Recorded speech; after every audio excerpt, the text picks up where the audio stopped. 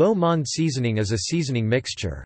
Basic versions are composed of salt, onion powder and celery powder. Some versions include additional ingredients such as garlic, clove, bay leaf, nutmeg, allspice, mace and others.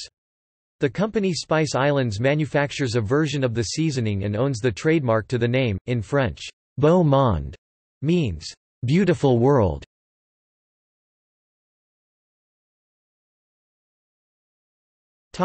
Topic: Origins The origin of Beau Monde seasoning appears to be uncertain.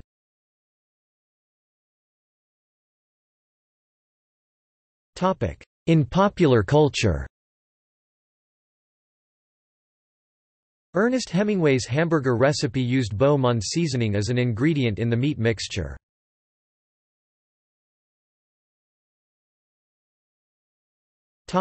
See also List of culinary herbs and spices Spice mix